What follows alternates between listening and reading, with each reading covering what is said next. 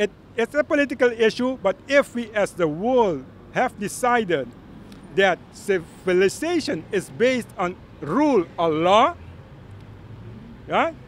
and also on international treaties that we make accords on it that we should respect, but in our case, these were uh, not violated, and that makes in international arena, I say unjust acts cannot create law.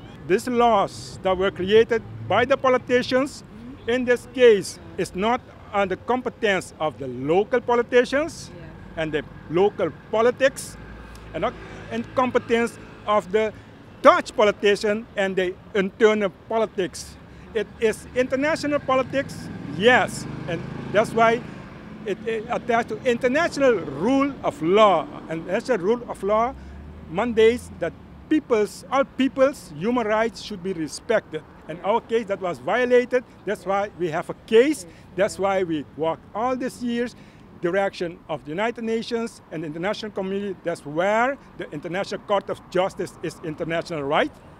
Why we have International Court of Justice? Because somebody on an island government will deny people their right, will abuse them, will oppress them, will violate their rights. So that's why it's International Court of Justice, where the people at the end will make his universal right be respected. Yeah. So that is our objective as Bonaire, uh, Nos ke Boneiru Bek, and that's why we started the fight, and that's why we will continue the fight till our human rights will be completely uh, uh, restored, because we didn't lose a right.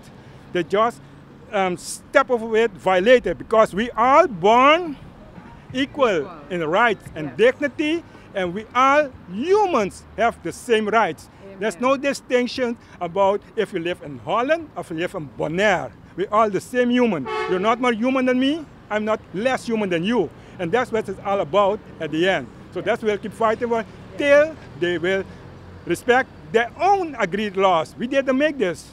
We didn't make those laws. We didn't make those, those, those treaties. We didn't make those, those accords. They made it. So we have to make them respect them. And that is the, where politics um, get confused. We have to remind them politics and politics I mean, at a governmental level, have one obligation, one duty. Let me explain it, spell it out for them. Let me spell it out for them. It is to respect our rights, our human rights, respect our human rights, to protect our human rights, our rights, and to comply with our rights, our human rights. That is the only duty for the politicians.